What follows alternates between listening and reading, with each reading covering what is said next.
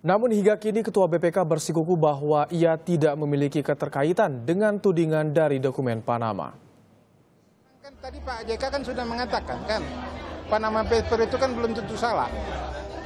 Ada yang kalau menyimpan hartanya dan bisa dibuktikan pajaknya disembunyikan itu salah. Tapi kan saya sudah melapor, kalau dalam kasus saya saya sudah melapor ke KPK. Kalau ada pertanyaan tentang LHKPN, saya akan segera memperbaiki LHKPN saya kepada KPK.